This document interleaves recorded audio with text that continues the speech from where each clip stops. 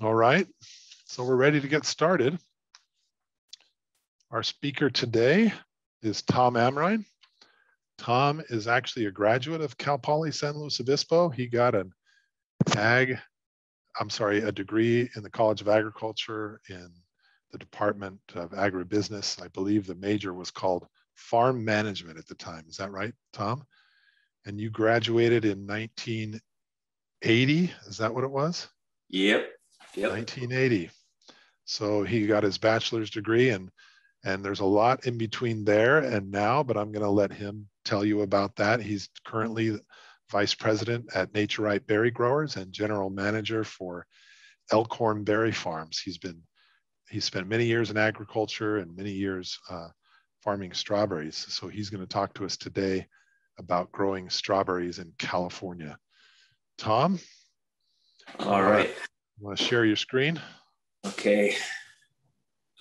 So, well, before I do that, just a couple comments, I guess. Uh, so, yeah, I went went to Cal Poly, got out of Cal Poly, and then went back up to the Watsonville area where I was raised and started growing strawberries. So I've been doing that for 40 years. Um, most of the vast majority of that time was um, my own farming operation that eventually uh, was we were marketing through a co-op and or and then that co-op like many co-ops in California became a corporation and then the farming operation merged into that corporation. And the farming operation still continues but it's owned by that corporation of which I'm now the vice president and and, and continue to be general manager of the of the farming company which is kind of the way it's gone in California agriculture. I got a, came out of Cal Poly there with a degree in what they called farm management which was kind of a it was an option in the ag management department and it was for people who were going to go back to family farms or have their you know start a farm on their own which i did. I think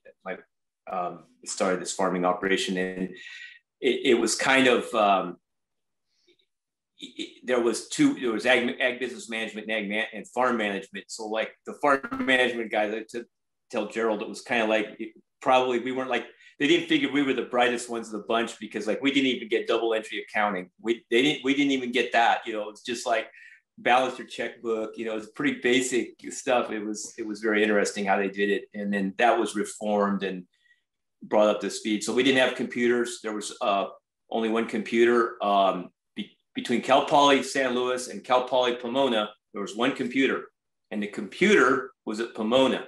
And we used to have to do the punch cards, you know, the, you probably know what it is, where you type these things that pokes holes in the card. We'd have these big decks of cards and we'd be there all night typing them out. And then you'd take a courier would come and take them to Pomona to run them to the computer over there. And there was one little glitch in one card, you know, and then the next day the courier would come back and you'd have your deck and they'd say, well, there's a bad card in the deck, you know, and then you have to go back and try to find it. So you, we were lucky to run like in a class, you do like one regression analysis the whole year because that's how long, you know, they would have like 12, you know, be a small sample, like 12, and you would do this regression analysis on the computer and it would take you the whole deal, the whole some or a quarter to do it. So anyway, times have changed. Um, and then, the, and then this PowerPoint, we're going to go through, um, I mean, obviously I'm not a, I'm a farmer, not a teacher or a PowerPoint designer, but the way that PowerPoint is, I kind of set it up there's some tables you're going to see there's some slides that are like piled with charts and data that you can't really probably even see it hardly but I also made it like a reference document, right? So that it's there, and then you guys can download. I, you know, Gerald, I guess you guys can download it, and then. Uh, and, and, I've already posted it there, so yeah, it's yeah. available for download right now. And then more about the, my background and you know life as far, as a farmer and kind of the way the career went. There's a there was actually a podcast about that that was pretty good. That I think you've posted and I'm not gonna, you know, you didn't come here to talk about me. You came here to talk about berries. So if you want to know more about kind of history and life, you know, what it was, you know, farming and, and how it goes, um, there is that. And oh, the last thing I was going to say was, so if you're in this class, I can't remember if I told Gerald this, but uh, with all this COVID and everything, it's like we're kind of over it up here. So if you're in the class and you want to come see a strawberry farm, and then then Gerald, you know, Gerald, you can give them my, you know, con- contact information. The farm's open you know, or if a few of you want to come up on your own, I guess you can't do con- conjunction with the school, but you know, if y'all want, if one of you or three or four of you want to come up and see the farm here in, in Watsonville and, and, spend a day up here, that's that would be great, and we will do that. And it doesn't have to be, you know, necessarily you could do that on your own. I can invite so it's you. not a school sponsored event, but uh, you're welcome to do things like yeah. that. And that's quite an offer, Tom. Thank you. Yeah. Okay. You just tell me when to forward or yep. say next, and I'll do, go. Right. Uh, so there we go. Growing strawberries in California, general overview. So this was going to take about 50, 50 minutes to get through this, um, which is I know you used to think when I was in school, man, four o'clock class, that's really hard to stay awake. I don't know if it's still that way. That was like the worst time of the day. So hopefully you can all stay awake. Uh, and then, uh, and then, uh, Gerald, I guess you can manage if somebody has a question, right? Like they raise their hand or something or whatever you want. Yeah, I'll there. be watching the chat and. Okay. Uh, okay. So all please. Right. Let's. Yep. Let's dive into it then. All right. Next slide is going to be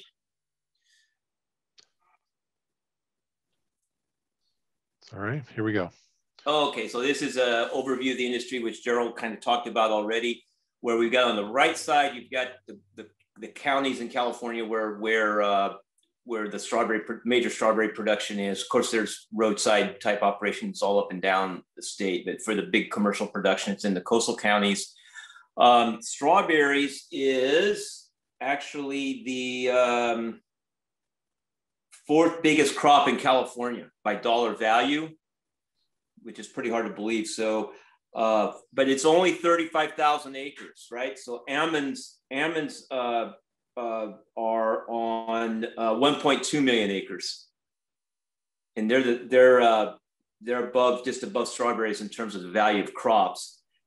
But they're on 1.2 million acres. Strawberries are on 35,000 acres, right? So it's it's a very small acreage and it runs about the gross sales is up over sixty thousand dollars an acre. Um, so it kind of gives you a scale of of of the value of the crop and, and and where it's grown. And of course, about half of that billions of dollars you know ends up in payroll right goes back to payroll goes back to hand harvest and everything so it's a big big employer biggest ag employer in the in the in the industry in the state okay next one going on to the next one we've got so when we look at that big industry, you know, what are the, and it has been a successful industry, what are the keys to success? And that kind of actually um, ranked it here that, you know, in typical of farming. So that's the thing I was going to say. What I'm saying here, I'm trying to set this up so it kind of applies to all different crops, right? Is to get you thinking about what it means to farm. But it really does come down to hard work, perseverance, and luck. You kind of got to have that. Then you get into the correct varieties, the, you know, the correct microclimates, the correct soil and water. Once you got all that, you know, then you apply your management skills. But, you know, at the, at, you know, management skills aren't going to save you if you don't have hard work and perseverance and then a little good luck along the way. Um, all right, keep going is, there. Is when you say management skills, is that really like human resources? Are you talking well, about yeah, managing people? How, yeah. How do you put the all? Yeah. How do you how do you uh, you know given the correct variety the microclimate the soil and the water then then what do you do with that? How do you manage it? And the, uh, all the resources that go into it which people skills and strawberries you know people's one of the biggest right? Because it's not mechanized it's all hand harvest okay but it's so not it, it's not just people it's all of it. All of it yeah all yeah and you have to do all of it. You know you can't you, and you know if you're, you, i always say like you know in farming you've got to be you, you know you've got to to be successful you got to be at, at, you know above average in everything and you really got to be good at something. All right? And in that whole big set. Yeah you can't you ain't gonna make it be an average across the board. You won't make it. Okay go ahead. We'll go down to start talking about the next one which is uh well i wanted to start with because this is something that doesn't get talked about a lot. It's about the, the importance of varieties. And so um, Going to the next slide, we're going to see a, a fairly complex chart right here. But genetics and the varietal selection is is uh, and having correct varieties is absolutely fundamental to the success of, of the industry. And what I did here was I went through, and again, this is really fine print. We're not going to go through that that much, but you can go back and look at it. But what I'm showing here is that from when you first cross pollinate a flower with the pollen from another plant, that first, that first cross, until the time you have a variety, a commercial variety, that's about 12 years. It takes about 12 years. But you've got to repeat that that uh, the first four or five steps, those first four or five years, you've got to replicate those five or eight times before you ever have a chance at a at a successful variety, right? Nobody ever gets lucky the first cross, right? It takes about five years of crossing before you get a cross that will ever make it down to the 12th year. And so what it, so what that tells you is that your cycle between varieties, as new varieties cycle in and out of the industry, it's about an eight, eight to 10 year cycle. And there's many, many steps in that. And as you can see in line three there, there's a number of 15,000. So typically a, a breeding program might be looking at 15,000 crosses a year. And then they have to do that for five to eight years before they get two or three that are good enough to move on down to that 12th year. So you can imagine, you know, you're looking at, you're weeding out, you know, like 50 to 100,000 crosses to get something that might be a commercial variety. So let's go next to the next one. And what we'll do is we'll kind of look at this, this shows here in my, in my time farming. So I started in, in 80 up, um, up till now. That's every of the main varieties that I've used, I've had in the field. That's how they cycle. Aiko, Selva, Diamante, Albion, Monterey. So I'm growing Monterey right now as my main variety. Royce is just coming online. So in 40 years. A, Tom, we've got a hand raised. Uh, Brooke, okay. you want to ask your question? Yeah. Um, so I I live actually on six acres of strawberries that we lease out, and so are you saying that you guys incorporate um, different varieties in that same block, or um, are you saying that you use that same variety? Okay, it's pretty amazing what you're saying, but so an eight to ten year cycle, you have to use the same variety, and is it like bare root that you guys just use? Yeah. So what happens is in any given district or climate area, there's always going to be one or two main varieties, the most productive, right? And that's what you're going to grow. And those varieties will cycle out, but it takes um like in this case here, you can see in, in the last 40 years, I've cycled through those varieties. Uh, it's all, you know, it's a, it took about, about an average of nine years per so the a, a, new variety will last in the industry for like nine years and they're eight or nine years and then something else will come along that's better and finally kick it out but it takes that long to cycle through the varieties so you'll oh. you'll you'll grow a mixture of varieties correct and one yeah. will sort of be waning and the other one will be increasing right so right now i'm i my acreage right now is 100% monterey up here in the north. I'm 100% Monterey. Next year, I'll be 90% Monterey, 10% Royce. It's a brand new one that looks like it's going to replace Monterey. But to get to completely weed out Monterey, if, if any of those, like Royce is really the one, you know, that'll take three or four years before I before I'm confident confident enough to like not ever plant Monterey and just keep going with the new one. Okay. All right, so let's look at the next uh, next uh, slide here, which is going to be, um, I'm going to go quickly through the breeding process. So this is how it starts. Here's a, they, they collect the pollen off of a, of a one flower and they paint it onto the other flower to, to pollinate it. And then they, they, uh, they tag those in the, and then those develop into fruit, which you can just pretty much go through this, uh, Gerald, next one was going to show, I think, uh, those fruits produce. And of course, the strawberry has seeds on the outside of, of the berry, right? It's all those little rough spots or seeds. Every seed's different on the strawberry. They're they, they're different within a range, but they're all different. And so they you literally take the berries, you take them and blend them up, you strain the seeds out and dry them out, and then you start, then you plant, you germinate those seeds, which the next slide is going to show um, should show that you've got, uh, this is what a, a germination uh, place looks like where we're germinating into, where the breeders are generating individual seeds. And that's, they grow up from a seed, there's the plant. And they're all tagged and they're like families. So they are like families. They're like the, each seed is like brothers and sisters. They're all kind of similar, but not, not, none of them are exactly the same. All right. keep going there, Gerald, to the next one. And now we see that the seedlings have grown up and then the seedlings are taken out into open fields and they're planted out. And then that's where they're observed. And you grow them out and the breeders will grow them out and then they'll start to collect data on them, you know, size, flavor, shape, productivity. Um, and then they start weeding them out real quick because at this level there's 15,000 and they want to get it down to just out of those there may only be maybe one or two that they'll actually keep for the next round uh, for the next season to continue to monitor them. So go to the next one there, uh, Gerald.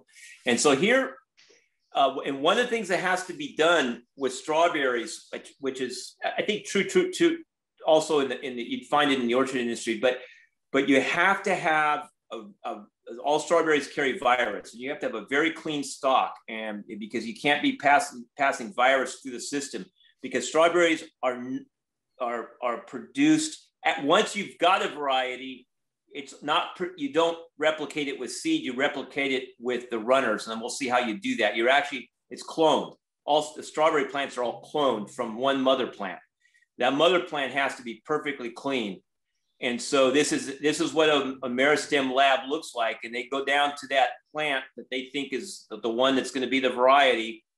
And they just take a few cells right off the tip of the growing point down in the crown of the plant. And then they uh, put those in test tubes, grow them out. And then now you've got your first batch of clones, exact clean replicas. And they do it at a high temperature, uh, almost enough to kill the plant because they have to get the temperature up in the greenhouse. It's up around 100 and I want to say it's 130, somewhere around there degrees, because what they want to do is kill the virus in the plant, but not kill the plant. And it goes through this cycle like that of clean, cleaning the plant. And that gives you a clean plant to start uh, with when you finally select that. And it's that one plant. And maybe it was it, at one point, it is just one plant uh, that might, and then it, this would be the mother plant. All right, you can keep going there, Gerald.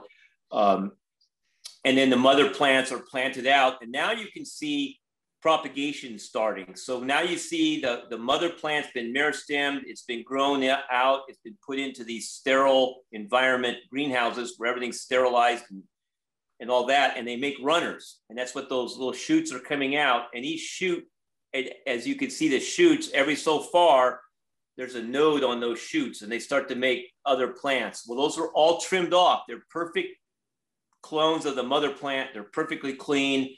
There's been no virus vectors or anything. And then those become the first step in propagation of, of making enough plants so that the growers can, can plant. And that's how they, uh, they keep it clean through the system. All right, let's go to the next.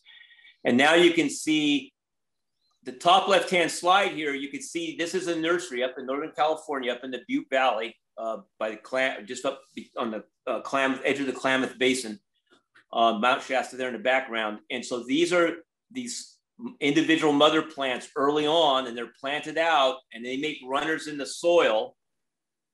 And then those, and that sterile soil, it's been fumigated, and then those are dug up and taken into other fields the next year because they have more plants and more plants. And then finally, you get to the point where you have millions of mother plants planted in these large fields producing, you know, hundreds of millions of runners and then each runner will have three or four nodes on it, and those nodes become the plants that we plant down here in the nurse down here in the fruiting fields.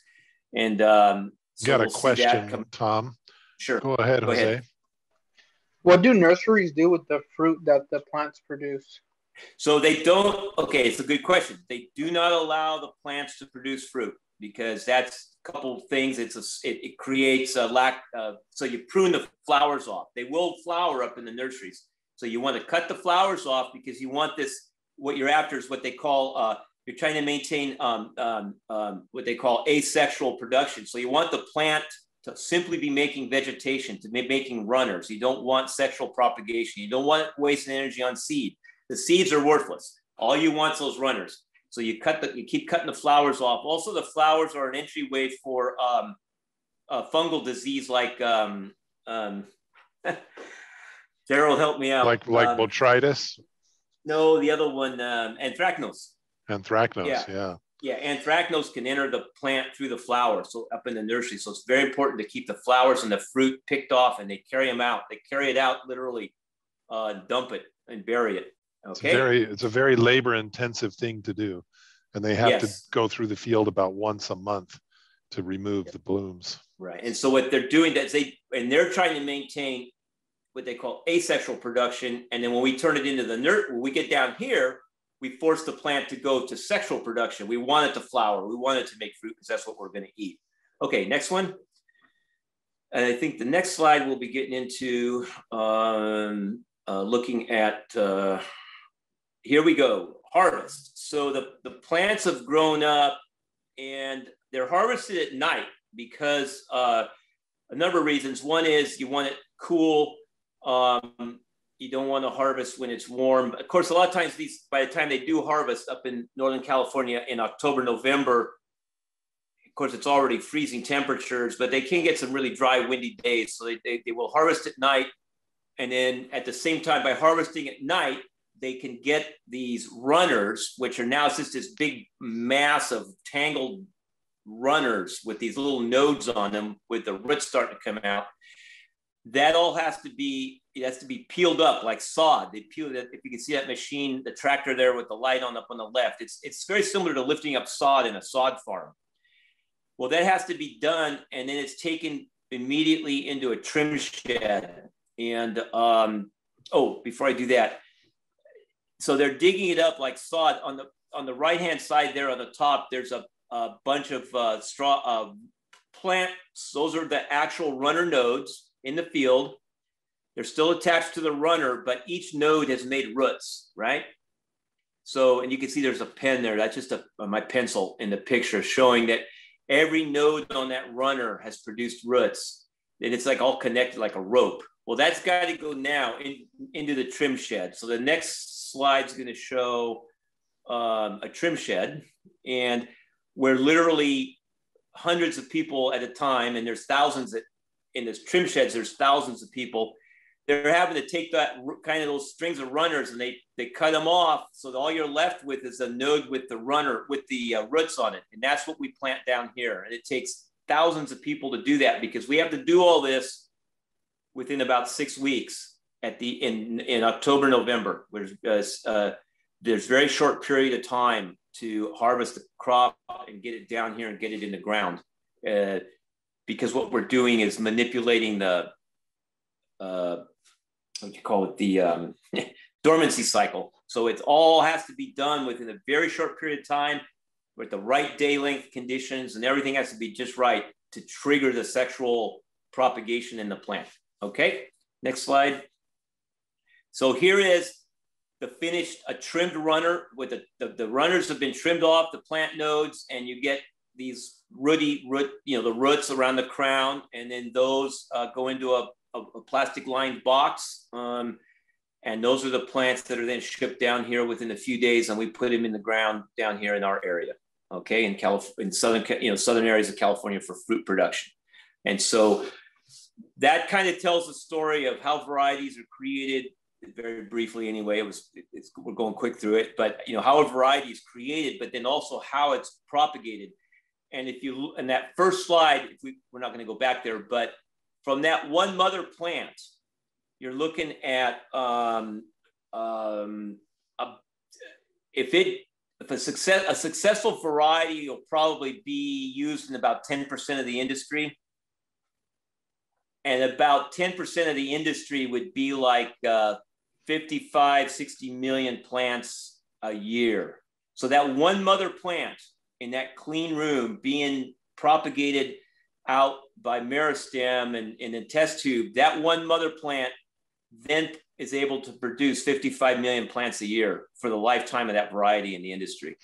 So it's quite a quite a process. Okay, next next one is uh, this last. This will be the last one on on nursery. So this is a, a picture aerial picture I took from uh, it's up in the Butte Valley, and it's a really cool picture because in the center of the picture, from left to right, you could see there's uh, four roughly equal rectangular blocks of land.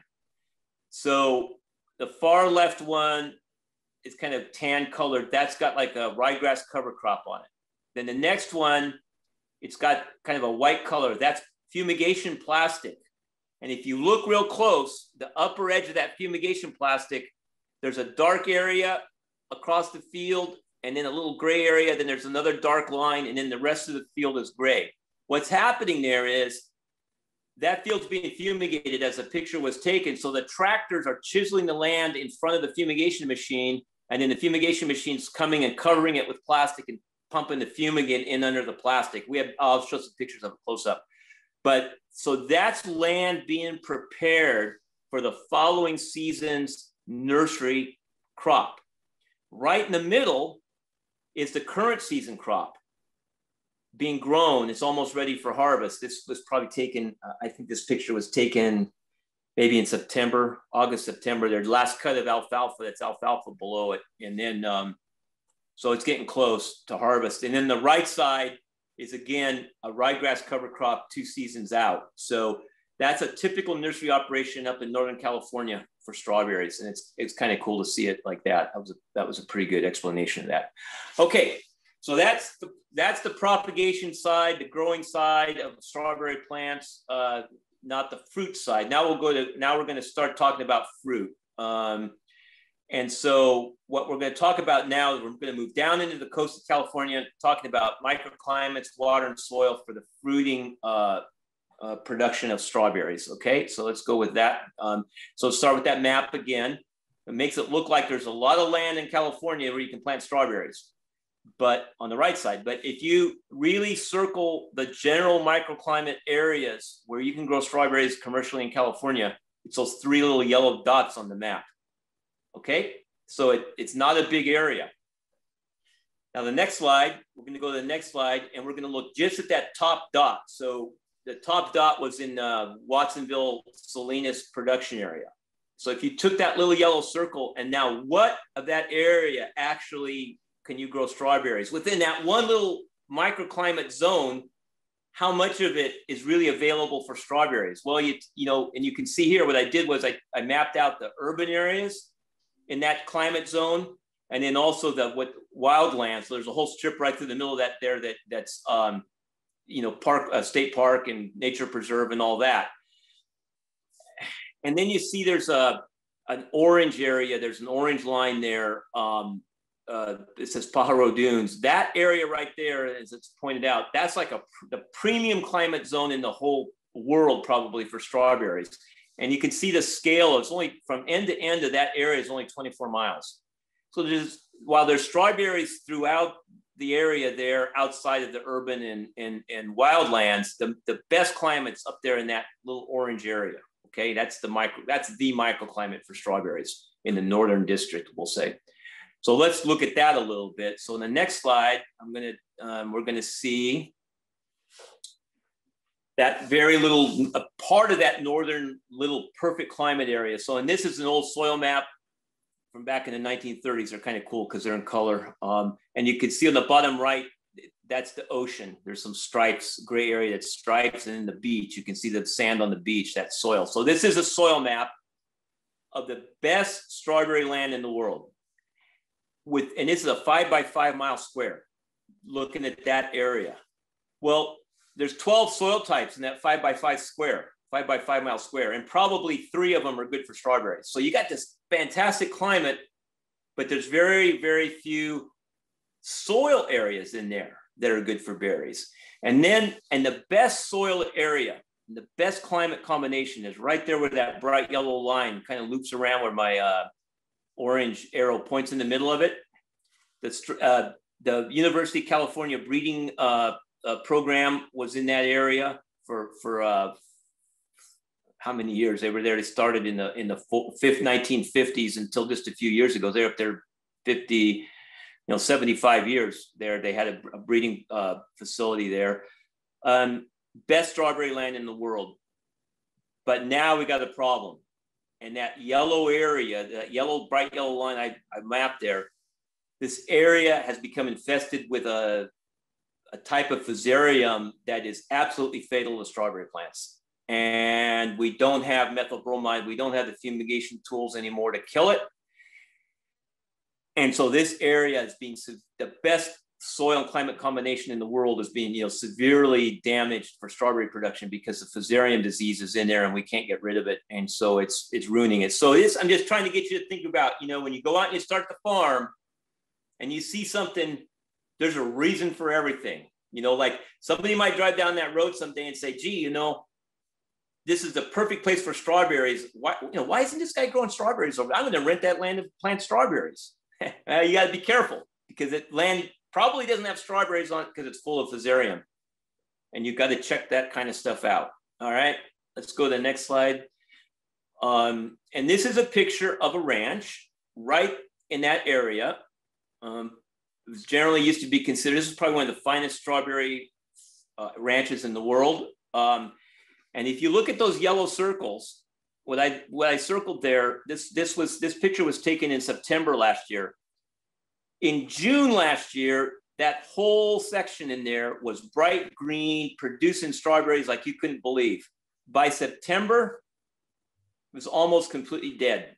And you can see these brown tilled areas.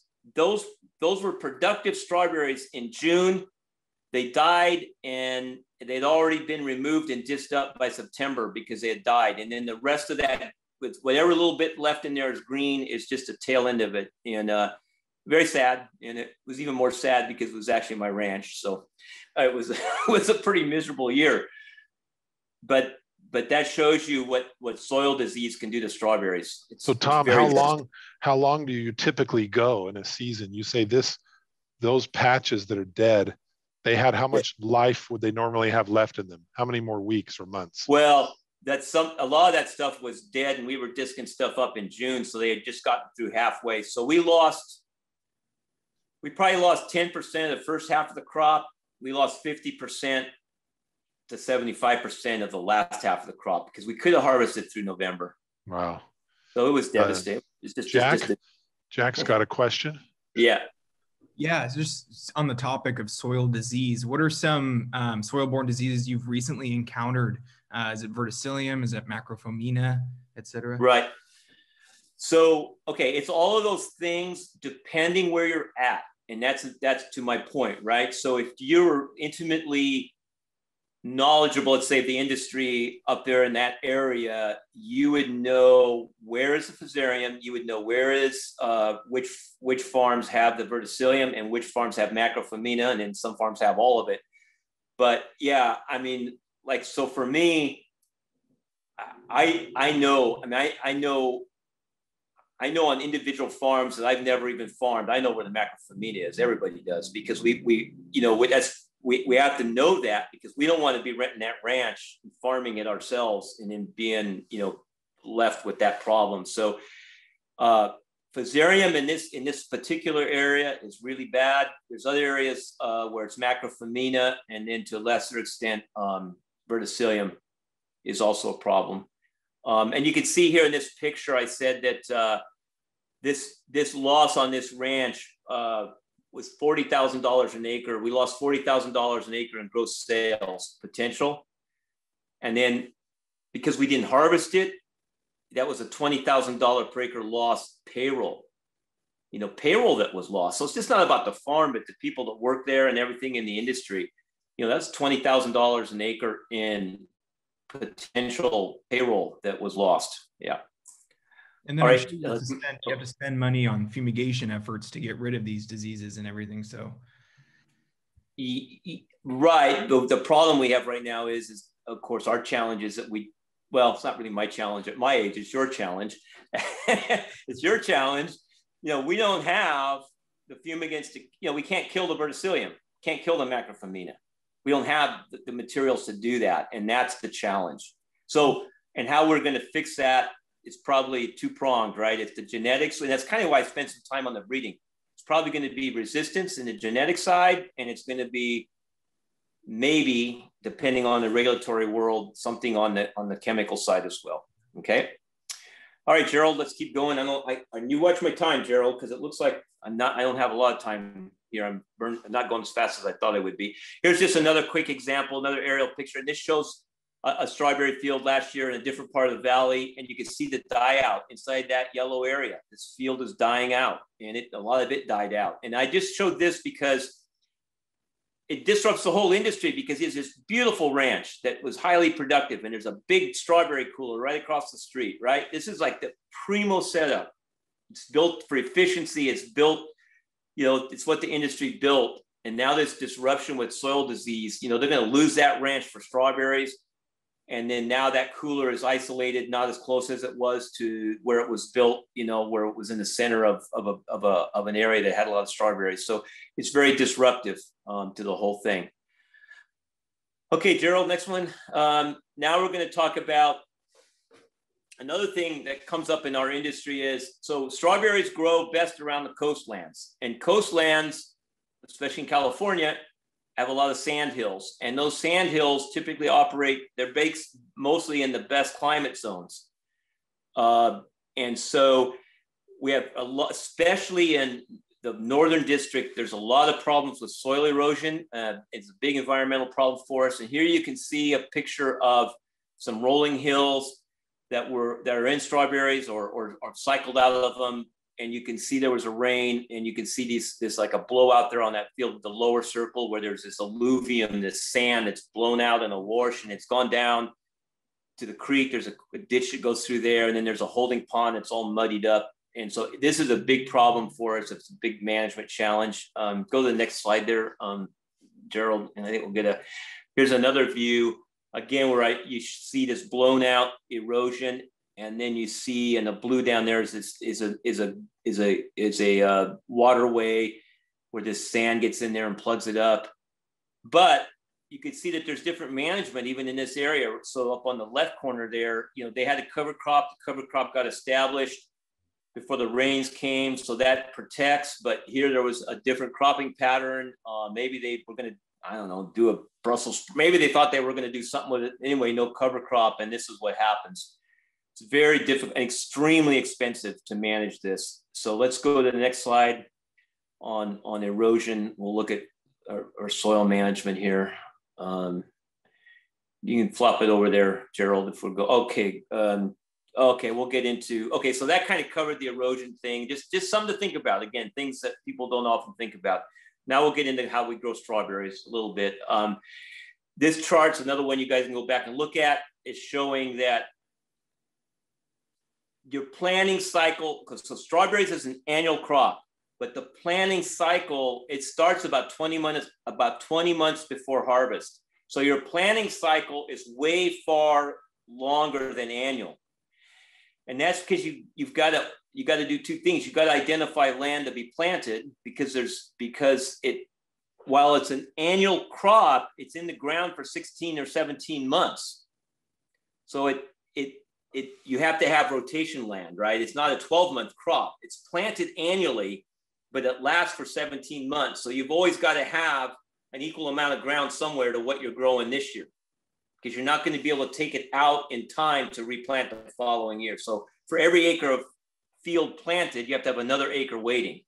So you've got to have that, you know, 20 months out, you better know where your land is. You better have your leases set up. You better understand that about 13 months out, you got to put your um, um, your plant orders in because we went through the whole thing on how they propagate plants. Those all have to be grown. They have to have their orders. They have to get paid. Those nursery guys to, grow those plants. That's that's 13 months before harvest, and then ground prep. Look at fumigation. Nine, eight, nine months before you harvest, you're you're doing your fumigation and everything that comes after that, and then harvest starts April, May, and then then you've got the next nine months to, to finish it up. So that's harvest, harvest peaks in June, November, you're all done, but you've got to clean up the field. You've got to remove the irrigation system because there's going to be a rotation crop come in that's not strawberries. Um, and then by December, if you don't have a rotation crop, then you're going to be planting a cover crop. So that that that kind of shows how how how the industry cycles through a crop, especially in the northern district. Okay, um, let's go next one ground prep. So let's look, how do we prep ground? And I just put this in again, a chart you can look at later, but it, it shows how many, how intense is the tillage, right? So 15, uh, 15 uh, tillage passes even on sandy soil to get to, to, to where you're ready to plant the crop. And, you know, and what's, what's a pass of tillage is you know, that's at least 50 bucks an acre every time. So takes a lot of time. It takes a lot of uh, equipment and it, it takes, um, it takes a lot of money even to just prep the ground for a strawberry crop. It's not like planting, uh, it's not like a no, no till, no till corn operation in the Midwest. That's for sure. All right, next one. So, and you guys, I don't spend a lot of time on this, but you know, it's heavy equipment um, moving fast because and the other thing is you don't have a lot of time, so you're moving fast and you're getting it, you know, to get the ground ready, um, and just the different operations. And we do use, you know, we do use like compost and whatnot. And there's just a picture of, uh, yeah, it's like sand dune ground. It's one of my farms, and we've we've come through the big spreader and spread um, compost. That's um, that's five tons of compost to the acre. You know, five tons sounds like a lot, but when you spread it out over an acre, it's just, it's like dust. All right, next slide. Yeah, there you go. Okay, so one of the most important things getting ready to plant a strawberry field, the most important thing, one of the most important things is the pre-irrigation. If you don't get the pre-irrigation right, nothing works after that. So, and the pre-irrigation, now you've got this soil, it's beat to a powder because you want the, you don't want dirt clods because dirt clods hold disease and, and the, and the fumigate can't penetrate. So you beat the ground down to where it's just pulverized. And now you've got to fumigate it and, and work the bed. So here's just picture the guys laying the sprinkler pipes out. And you can see that's a, you know, pretty straight, pretty straight line there. I mean, it's got to be perfectly aligned. And then on this yellow circle down over that irrigation valve, the reason I drew that circle there was those valves, they tend to leak. So when you turn the sprinkler system on until it comes up to pressure, those valves around those areas leak a lot of water. And if you'll notice that main line, you know, it's this is portable main line. We stick it in there just for this irrigation. It's sit, we cut a ditch. It's sitting in a ditch because you do you don't want a wet spot you know, so you want you want if there's water dripping off those valves while they're coming up to pressure and whatnot, it's a little wet spot like that creates so many problems in the future. So you you know you I always put a ditch and put the main lines in that ditch, and then it, it concentrates that water off to the edge where there's going to be a road there later on. Just little techniques like that.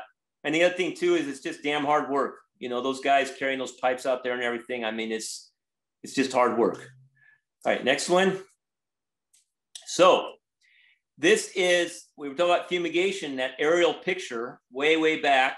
Uh, this was uh, the exact machine that would have been in that field if you could have seen it. And this, but this is down um, on one of my farms uh, doing flat fume. Um, after, so what they've done is they put the sprinklers out, they got the soil very, they soaked the ground. And that, and that allows the weed seeds to start to germinate. It activates kind of the soil microbes. Everything's moving, and and then it makes the fumigant a lot more effective. Um, and so we come in on damp ground, and then this would be a flat fume operation, which is very expensive because you're you're covering the whole land with fumigant with plastic, impermeable plastic, and then the fumigant's being injected in under it. Um, and sometimes we have to use flat fume because if our rotation is, let's say, a lettuce crop, the lettuce grower wants flat fume because he wants to know that 100% of the soil was at one point fumigated and he'll get some uh, residual benefit from that. Okay. Even after a year of strawberries. Okay. Next picture.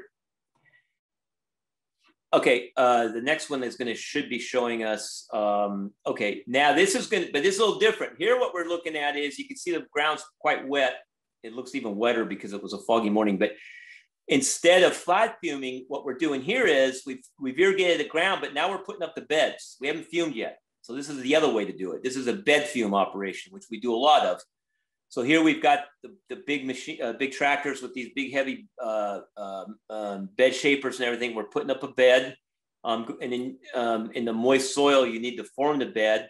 Then we come in on the lower right hand picture. You see um, this is a machine, it's, it's putting drip tape and it's putting the bed plastic, the mulch over the bed, all in one pass. So now we've got the bed is covered with plastic, but not the furrow, right? And, and the drip tape is all in. And that's going to be fumigated by by, by drip tape. We're gonna pump the fumigant through the irrigation tape. That's called bed fumigation. So here's a picture of that. And you can see it set up with the tanks. And this, this was a pretty ugly looking field. This was a, I didn't have a good picture of a, it's not my field, but and one of the problems with this field, if you look real close, you can see how the plastic is kind of uneven on some of those beds, right? This is a very poorly prepared field. But anyway, it's showing the fumigation company there with their tanks of fumigant. It's being injected into the irrigation water, going out into the beds. That's a less expensive way to fumigate than the flat fume because the flat fume, you got to cover the whole branch with plastic, fumigants under the plastic. When the, then you leave it sit for two weeks, then you pick up the plastic, and then you build the beds, and then you still have to go put plastic on again. So you do two layers of plastic because you have to have plastic over the beds to grow strawberries um, for a number of reasons. Some of it's temperature control. The other is our fumigants don't control weeds anymore uh, very well. So we have to put a, you know, impermeable to light. So that's light blocking plastic. And a lot of the plastic, uh, it's a green color. So it's temperature neutral because you don't want to heat the bed up. You don't want to overstimulate with the hot soil. So um, when you do flat fume, you you really use a lot of plastic. Where you you know it's like it's it's in the carbon footprint. It's politically incorrect to say it, but you know the the carbon footprint for strawberries with all the plastic is pretty high, I would guess. All right, let's go again. Next slide. So what we do now is, so this field was either bed fumed or flat fumed, but it's all ready now to plant. So you've got the bed covered with plastic. Now the drip line's already in there, everything's ready to go. It's all GPSed out. So it's nice and square and straight. But now you have to make a hole for the in the plastic for the plant. And what we used to do was we'd have a spike wheel on this tractor and we'd just run this spike wheel. It would turn around and we'd poke a hole in the plastic every 18 inches or however far apart we wanted the plants. And then the workers would come in with a trowel and they'd punch the hole and then they'd put the plant in there. And then what you'd have to do is you'd have to come back later and we used to have propane tanks on little like backpacks. So you'd have a whole crew. It's like these guys are like ready to take off. Like, man, I was afraid it's, you know, some accident, right? So you got your little propane, you got your propane tank on your back with a burner. And after you plant the plants, you'd go through and you'd, you'd, you'd, you'd burn the hole through over the plant because it was just a slit with a knife and he'd have, but there's not enough for the plant to come out. So we used have to do it by hand. So some, uh, some smart young guys down in Salinas that we started working with started to build a, uh, uh, I want to say it's not robotic, it's an automated machine to put those holes in. And it's taken them three years, but I did 100% of the acreage with their machine this year. Um, and that's the machine. And this was basically built in a garage um, down in Salinas. These guys are just they're just sharp young guys. They happen to be uh, from actually from Mexico. They're actually me- uh, educated in Mexico, and they're not um, not with you know the type of education that you all are getting there. And they figured it out. But it's a uh, it's the coolest thing, and they got it to where it works on the hillsides too. So it'll hold a straight line on a hill. It's got side shift and tracking and everything, and it puts the holes just perfect. So the workers can just come through now and put the plant in. All right, let's go look at the next one up. How are we doing? I'm doing a lot of talking. I'm going fast. If you got questions, that's fine. Um, I, I think get... we, well, it's 5.15. How's everybody holding up? Yeah. We, I, I, see here, Tom, you've got maybe 15 more slides. Yeah, um, we'll go fast. 15 okay. minutes. Can you hang, hang in there, much? everybody? I think we're good. Okay, all right. Okay. So here's erosion control. Here we are putting in erosion control uh, right before we plant all on these hillsides, like I talked about. And you can see at the yellow circle, some of it's permanent. So there's a pipe under the ground there that's going to take rainwater off the field and down a pipe all the way down that draw all the way down to a creek, but it'll keep the sand out of it. And in the smaller circle, there's a disc blade laying there on the ground. So what happens is we when the when when we're working the ground, we have to have those pipes covered up so we cover them with a disc blade and, and then they've got like three feet of dirt on top of them. But then we can use a metal detector to go back and find them and dig them out again. So we can work over them. And then, but it's tremendously hard work. And this plastic we're laying is plastic that was used plastic from our hoop houses on our raspberries. Okay, next one. Um, next picture is going to be planting. Okay, we go to planting. And so here we are. All that erosion plastic is, is in. The holes are punched. Everything's done. Now we're planting. So those plants you saw with that box of plants that was way back at the beginning of the slideshow sitting there. And the workers come with, and they work in teams of three. And the lady's got her little little feed bag there that we got. And then she puts the plants in there and then she walks ahead of the crew or he walks ahead of the crew and throws a plant down on the, on the top of the bed. Then the other person picks it up and pushes it in the ground. So next picture is going to show that we got these little tools that we use to poke it down in there. So we're doing um, 18,000 plants an acre. So it tells you, you know, every plant has to be, how many times a human hand has to touch a plant before it gets in the ground, right? Because it had to be individually touched in the nursery and down here again, okay? All right, next picture. Okay, and, and then this shows, okay, what we got on the top, the top two slides is what it looks like immediately after it's planted. You got dirt and dust on the top of the bed, but the little plants are sticking down in there. On the left side, you see uh, where we take the stickers off the boxes and we'll sticker the beds with those tra tra tracking numbers. And that way, if we do get a disease problem or something that seems related to the nurseries, We've got lot numbers and we've got identification, and those will trace back to a lot up there in the Butte Valley, up by Mount Shasta from those early pictures. And then after a few weeks, you get some rain on it and everything, and it cleans up the plastic, and the plants start to grow, and it looks like that picture below. Okay, next one, between planting and harvest, uh, this is management. So in our management, and I put the little thing there, you know, it's monitor, then it's act on what you see, and it's measure results and monitor. It's that circle all the time. So what you see here is that top left pay, uh, chart with all the little circles.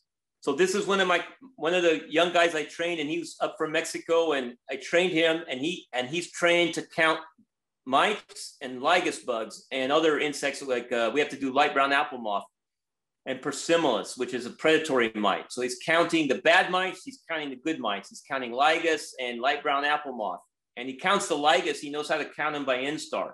Lygus have different stages in their life cycle.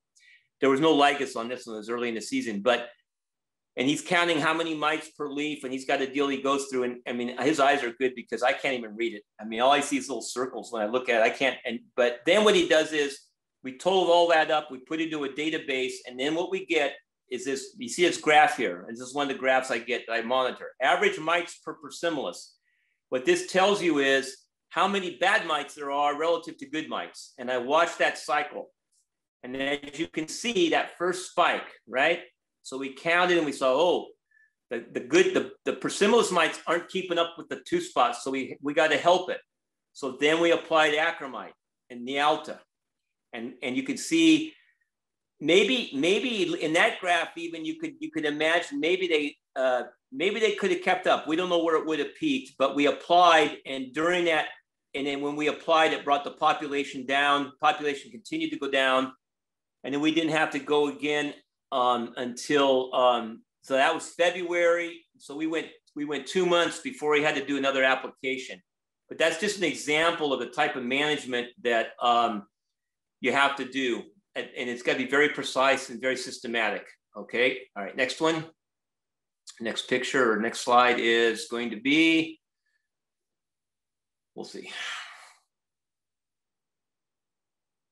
Okay, this one again, a similar thing. I just wanted you to you see, and maybe some of you all know, it could be crops people or something, you know more about this than I do. But I mean, I've got systematic, I've got to take irrigation water samples, we take plant tissue analysis, we take soil analysis, we, we look at those, we apply fertilizers, we record that, we monitor that, we monitor what we've put on in our own databases because the the apps and stuff, everybody wants all these fancy apps and everything. And I, I don't know, I can never find anything that works for me. So I build my own database on Excel or on um, Microsoft Access and, and do it that way and have my guys plug it in. And, and that's how we monitor. But again, it's that circular thing, water, soil, which is what's there. And then you look at the tissue, tells you what's in the plant. And then we try to understand those relationships. And we do that constantly. Like that's weekly, every two weeks, you know, you're looking at that and adjusting.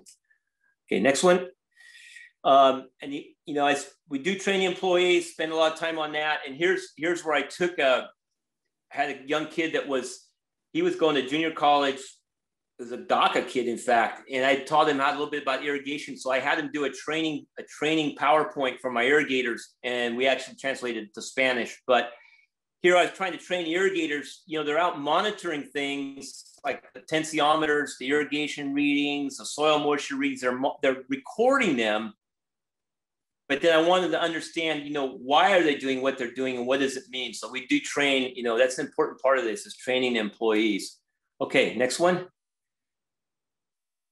Next slide would be, this one just shows during, so between planting and harvesting, the type of equipment, which you all see, right? Uh, you can see a bug vacuum there. It's folded up, the top left picture, but you see those at Cal Poly. The spray, that's one of my spray rigs down there.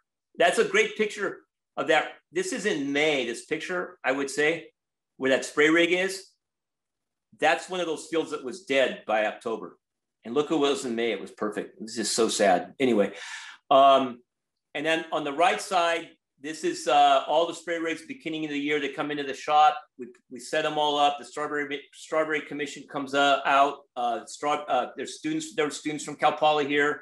Uh, came up. You know, come up. Well, of course, not with COVID, but come up, and then we calibrate the spray rigs. That's a big deal. That's my spray crew there, and, and I make the, guys, the drivers, the loaders, the mixers. They've all got to be there to calibrate those rigs to under, and so they understand what they're doing. And, and then when they're out in the field, we get her done right. Okay, next one. Harvesting, this is the end. We're all still awake or, or whatever. See, if it was Cal, if it was Cal Poly, it was in the old days, I'd say I promised you guys pizza and beer afterwards, but I can't do that. So just gonna have to stay awake on your own. Um, so this is, I circled some things here. So this is a harvest. So that people are out picking the berries in the field on their little carts, and then they bring the trays in and I'm talking about good agricultural practices, our GAP program. So if you look here on the left side, and this was kind of COVID related, but I got the arrow. Okay, distance, we maintain distance between the people.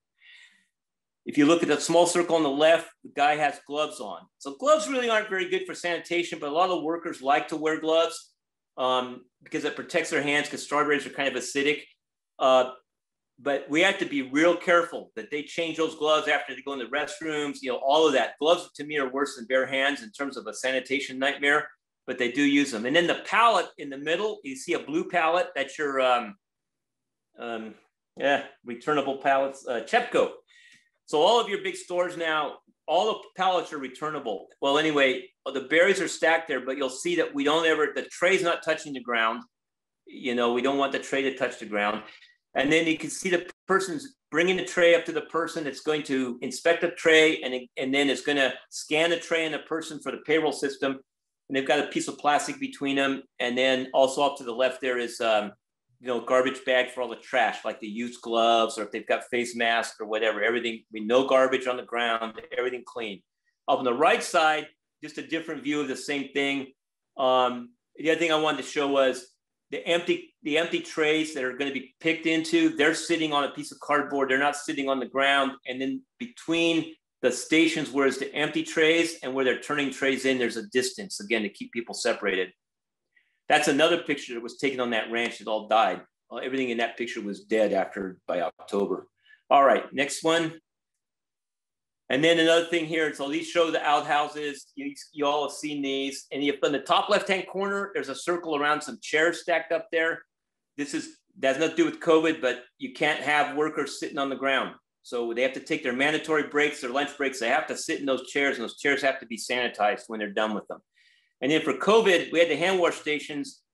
So like this one had, I think, 10 stations, and we had to um, tape them off and just use three so people never got that close to each other. And one of the results of that was was that where I used to have one unit like this for a crew, they, last year I had to have two units. So those those units are um, $150 a month for the units for the to rent the units, and then my cleanings running um, um, well a three unit be like $150 a week to clean it. And um, so you know those things are not, and then you have to have the tractor to pull it, right? there's thou- tens of thousands of dollars, you know, just in the sanitation, just to keep that up to up to speed and being done right. And we have to take those out of the field every day to be cleaned, and then they're they can't be cleaned in the field. You have to take them out of the field even to clean them. And there's nothing leaks out of these. They have to be all sealed up. Okay, next uh, next picture. We're almost done. Okay, we're now we're, we've harvested the berries. We're loading them on the truck and they're going to go to the cooler, which is post-harvest handling, which I'm not talking about. That would be another hour and 45 minutes. You guys would be dead by then. So we're just stopping here. Uh, the berries are loaded on the truck. I don't load by hand. I, I load very few by hand. Some guys still load everything by hand. When I started farming, it was I loaded when I first started farming. I even personally, I mean, I loaded almost every load. First few years I farmed, we did it by hand. Um, I use forklift now. We load by forklift, take them into the cooler. I just wanted to think about something that people don't think about again: labeling. So here's a package of strawberries. And what I wanted you to look at here was if, on the left, there's this white label that says Naturipe Fresa, and then it's all in Spanish. Okay, so it's so every country has labeling regulations. That's the label for Mexico. If that's going to go to Costco Mexico, that's the kind of labeling that Mexico requires. Otherwise, it's not going to it's not going to be sold in Mexico. On the other one, if you look down on the circle on the bottom right hand side, you're going to see it's in French. Does anybody? I'll ask somebody a question. Does anybody know why our labeling, why the labeling would be in French? Does anybody got an idea of that? Canada. Well, close. Well, Canada, but specifically, what about Canada? Well, I know they speak, they speak French in Canada. It's all about Quebec. Quebec. That one state in Canada, and so under Canadian law, because of because that one state speaks French, everything has to be bilingual French Spanish, all, all the label French English. But the the problem is that the Mexican stuff, it's expensive to label. Those labels cost money, right? Even if they're a frac like a half a cent a tray or whatever it is, it still costs money. You don't, you can't pre-label, right? So it it because then you'd have all this inventory and it would all be all mixed up. So the, some of the labeling, the French stuff, that's 100% pre-labeled. But like for Mexico, that labeling is placed by hand afterwards because you don't ever know. You don't know when you pick the berry where that berry is going to go because it's not it's not slotted, it's not um, dispatched until it's in the cooler at the end of the day. So it's very complex, the whole labeling thing. All right, I think uh, Gerald, there's a couple more just to finish up. Closing slides, closing comments. I stuck this in here. This is a list of all the government regulatory agencies that I deal with, like in a week. It's nasty anyway, we won't go through that. You guys can look at all that, but it's just we're it's driving this business out of the state. And if you look at what's going on in Mexico, the production season for strawberries is getting longer and longer in Mexico. They've almost closed the loop on raspberries and blackberries to where they can go 100% of the season down there. Um, they're killing this up here. Next uh, slide. And in the future for you guys. So there's a lot of opportunities for growth and innovation for those who can think and act outside the box. You know, and I think I referred to that through there. That's for you people. There's a lot of there's a lot of potential and a lot of opportunity. And then the last slide. Um, this is just okay. This is a picture here. I'll make a point when we get this. Is the last two slides. So this is a picture of. Uh, it's actually my grandparents harvesting corn in 1939. I keep that same picture in my office because it's like so you don't like forget where you came from. That's harvesting corn in Iowa in 1939. The picture on the right is you know contemporary corn harvest in Iowa. That's the, how much it changed in that generation. Okay, look at the next slide. The left side is strawberry harvest in up in the Santa Clara Valley, 1942. So about three years after my parents, my grandparents' picture. So my wife's, this is a Japanese family. So my wife's family, they're Japanese. So her grandparents were up in this area. So this picture was taken in um, April 26, 1942, picking strawberries in Santa Clara Valley. The picture on the right is a contemporary picture of somebody picking strawberries. And so it just shows you, you know, the potential for change in strawberries that can happen, that needs to happen, right? I mean, you look at what happened in the corn industry but you look at the strawberry industry and there's a lot of it that just just hasn't changed um, you know and so that's why there's the strawberry center and that's why we focused on cal poly to come up with some practical solutions to to some of our issues and the last closing comment this is the last slide the only thing the other thing about the the picture before my grandparents, farming in my family skipped a generation because what happened in 19, right after 1939 was the war started, World War II, right? So my father was went into the Navy, went out to the Pacific, came back, and he did not go back to the corn farm in Indiana. He was able to get the GI Bill, became an attorney in California, and practiced agricultural law. So that changed him. The, this picture here, what you know, what happened? What happened about the, the next week after this? You see the, what what happened in that? What happened to those people? Do y'all know what happened on in May of 42? They were sent to the internment camps. Exactly. So this picture was taken just, you know, could have been days or a week or so or weeks before these people were taken to the internment camp. So that's what actually my mother-in-law, um, she grew, you know, she went through the war in an internment camp. And then later, well, part of the internment camp, and then they were taken out to Colorado uh, from the Santa Clara Valley, were taken out to Colorado and they uh, um, hoed, uh, they, um, they hoed um, sugar beets up in the San Luis Valley. They were used for farm labor. But her her sister and brothers that were in Chicago, they were not interned. They continued just normal life in Chicago. But the ones here on the West Coast, it was a rough deal. Anyway, that's good. Done talking. Can take questions, whatever y'all want to do. All right. Thank you, Tom. Thanks for an excellent overview of how we grow strawberries in California.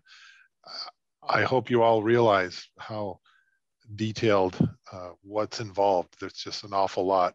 And uh, there may have been a lot of uh, terminology that uh, maybe flew by you if you, if you haven't been uh, very familiar with strawberries or even agriculture, maybe some of the equipment, some of the practices. So, you know, please ask questions. But if uh, I understand it's it's 5:30, we won't usually go this long. Today was different, not because Tom went too long, but because I started with uh, 10 minutes or so about how the class is structured and so forth. So anyways, um, any questions, go ahead and fire them off or, or uh, if there aren't, we will, we will close. I have one question. Go ahead, Yu Chen. Um, so you talk about uh, that there's limited amount of land uh, to grow strawberry in the coast area, and a lot of them are um, suffering from soil-borne disease. Um, is that uh, moving to grow strawberry in another county a solution, or is uh, planting in greenhouse a solution? So, so I think you kind of, you kind of kind of hit the nail on the head as to what the think the thinking would be. The longer term thinking in the industry is it's like it's yes and yes. You know, it's like it's all of these things. So everything's on the table. So there's the controlled environment growing, the substrate growing. Uh, there's uh, the genetics, right? There's the development of resistant varieties that can continue to grow in the soil. But still, we've got the labor issue because you've got the the demographics of of our main labor supply, which is Mexico. Um, you know, despite what's happening on the border and all that, I mean, we're, we, we you know, we, it's not ideal to have an industry re- requires the, the, the, constant influx of, of young labor. Now, we we're working on the H-2A immigration program. That's helping some, which is I think is a great deal because it protects everybody and the workers and all that. But you know, reliance on this kind of labor long term is probably not a good thing. Um, so we have to do all of these things, and and the variety, the genetics will also allow the crop to be grown over maybe perhaps a wider area you know, than it is now. And with the controlled environment, you're all over across the United States because what people are looking at is if you've got controlled environment growing systems, you're not going to grow the strawberry in California. You're going to grow the strawberry in, you know, south side of Chicago and, you know, or, you know, north up the Hudson River Valley where they're looking at that kind of stuff, uh, where the population is, right? So 75% of the population, 75% of our product has to cross the Mississippi River to get sold. It's, it's, it's, the population of the U.S. right is the way it is. Not as bad as it's even or it's more even than it was 30 or 40 years ago, but still, you got to get you got to get your product east of the Mississippi to sell it. So it's all of these things, which again goes to the, the opportunity for for all of you people, right? There's a lot of opportunity there. Yeah. Did I see another hand, Brooke? Did you were you looking to ask a question?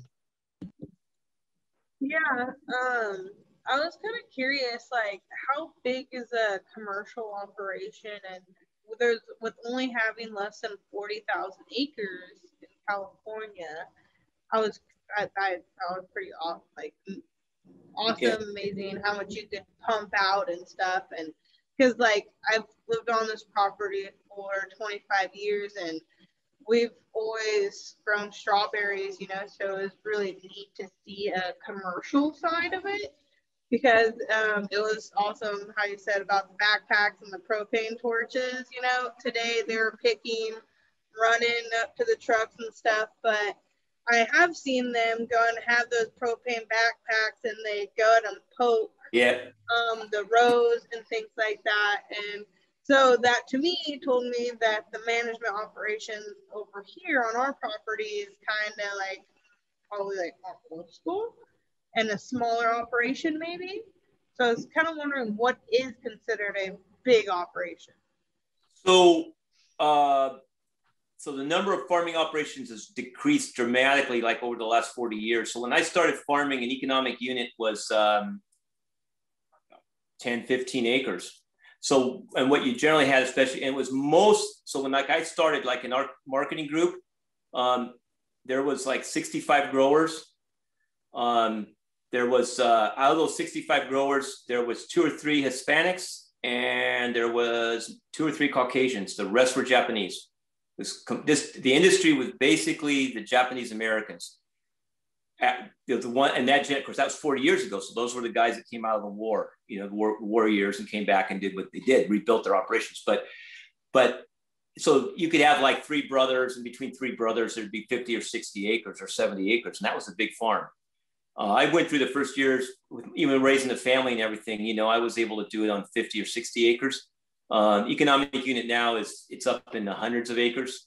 Um, I, I kind of struggle with what it is. I think uh, depending on how you do it, I mean, if you get into like use a labor contractor, I mean, your your economic unit could be up in three, four hundred acres, or bigger, five hundred acres. You know that one one let's say general manager could operate and of course, then it's no longer a family farming operation, right? Then it becomes associated with the corporate marketing structure and all that. And you are like a, uh, you would be you would be like a general manager of a farming company that's attached to a, a big marketing company because it's so high risk that you can't just be one. Like when I started, just me in Watsonville and my 25 acres, and I had 50 acres, and starting out, you know, if the crop failed, you're done. You know, it's horrible, right? You're just and so the so it's consolidated to these larger shipping operations, integrated operations, and then they have operations all up and down the state. They've got operations in Florida, they got operations in Mexico, and then they can average, right? They price average, they cost average uh, across a whole complete season, and that's how they stay in business. Not to say that a six-acre grower is, you know, maybe is associated with a big shipper and they can do their thing, or or you know, there's there's still the niche marketers that are doing a few acres of berries and they got a fruit stand or they got a little special thing that they're doing. That's that's a different that's different. I think you've either got to be really small or really big. Gotcha. So there are like plantations that have like uh, 200, 300 acres of strawberries, like just oh, strawberries. Yep. Oh yeah. Yep. Yep. 100 acre blocks. I mean, you know that one ranch I showed you has a 100 acre block. I mean, I, you know, a lot of a lot of a lot, I would say, I don't know what percentage of the industry, but you know, a lot of it's planted at least in 50 acre blocks, if not 100 acre blocks, and some bigger. I think the biggest one I've seen is um, there's one in Florida. It's a section. It's one section, so that's 640 acres, contiguous, one planting of strawberries.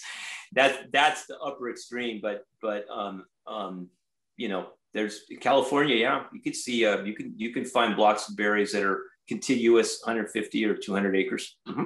Wow, and it's all hand picked still. Yep. Wow. Yep. Yeah, unless Gerald, unless you got something up your sleeve, or John Lynn, or somebody down there, I haven't heard recently. Well, you're gonna; these students are gonna hear all about it at our next lecture, right? Yeah. The Advanced Farm is one of the leaders in this technology, and they're just starting to to do this. Uh, not not any kind of a large scale. It's just a, they're just trying it out.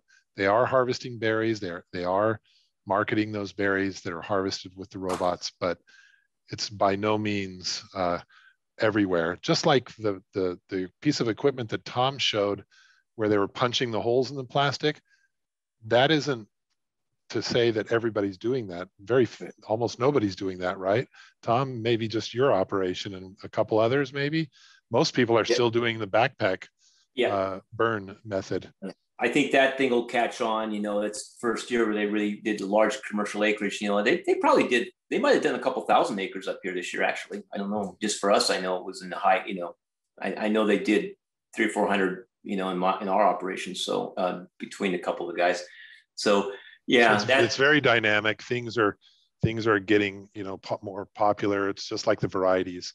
It starts off with a few acres if it if it works well it expands to more acres and then pretty soon it's a industry wide practice.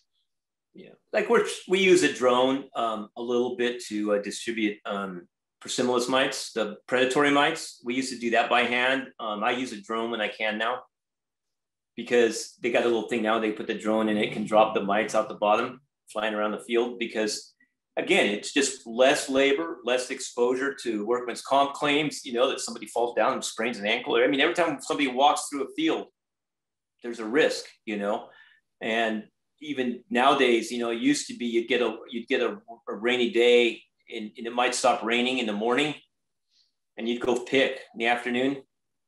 Not, not anymore. I don't do it anymore because if that, if I see that there's any kind of like slickness on the road, if that, if those field roads are, are muddy, it's just too much risk. Somebody somebody gets hurt, and then you've got the whole regulatory, all that, however many I showed you there, 50 different regulatory agencies descend on you, and you're going to be in court and everything else. It's miserable. I spent more time in depositions and court time and regulatory hassles. You know, it's just gotten worse. That part of it. It's not fun at all.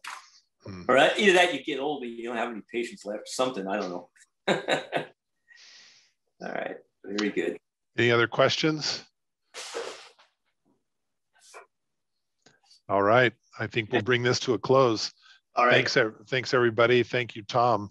Uh, yep. Uh, re remember everybody to fill out your uh, your uh, feedback form and send it in. May as well do it now while you're you're sitting here and uh, get it over with.